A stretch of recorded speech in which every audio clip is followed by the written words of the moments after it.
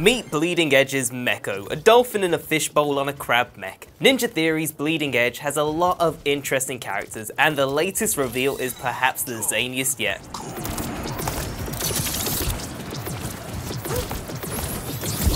Mekko is a super smart dolphin who pilots a fishbowl crab mech via an onboard Japanese made AI that also translates for him. We'll give you a moment to take all that in.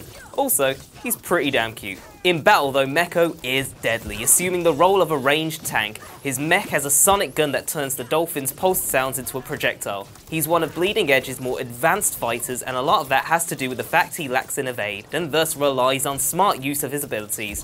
Mekko is the only character in the game with an active shield, meaning he can absorb damage to generate orbs that then boost attacks. Managing the shield's meter is pretty tricky, but expert use could make this aquatic mammal very useful.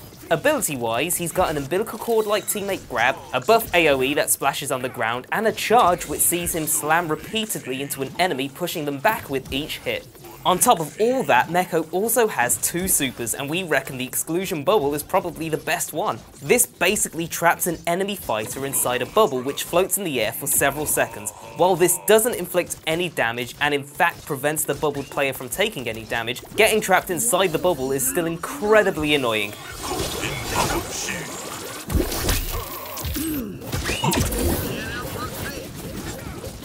Mekko has every chance of becoming one of Bleeding Edge's most popular characters. While he will take longer to get to grips with than some characters, the visual design alone will draw players to him. After all, who doesn't love dolphins?